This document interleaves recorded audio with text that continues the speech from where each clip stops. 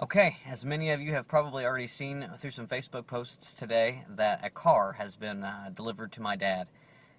This car was his first car purchased in 1972, and he had to part ways with it 24 years ago.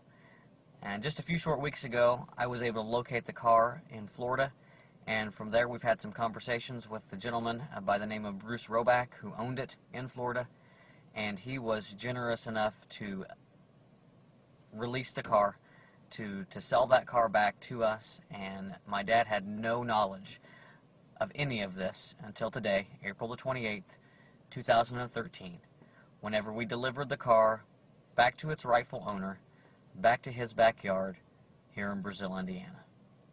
I know they're outside. There's deer in that field. Look. Oh my gosh. There's about five of them. It's migrating season. Look at the horses. Look, there goes some more. There's geese over there. Where? There was multiple. Yeah, Let me there's see. over there. Let me see. The deer, the deer already run through. The deer have already run through. The deer done went. The deer's already going through. Where's the other one? Ugh. What is that? Oh my god. God, what is that? Oh my god. What? What? What's the matter? Look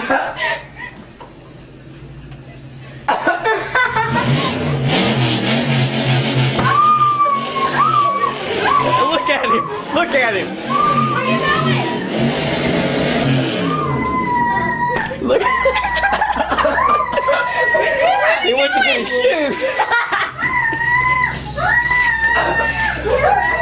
Look at him!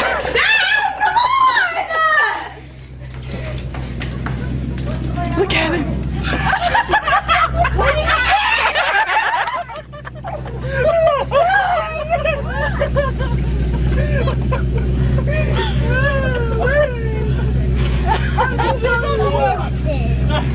Stay right here, buddy.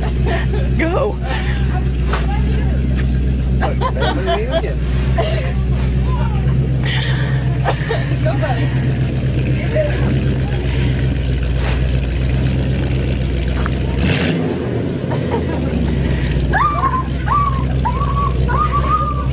Peyton, get back, buddy.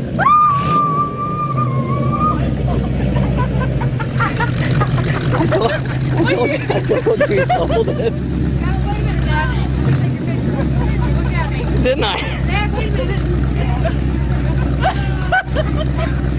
Oh my god! Can you believe it?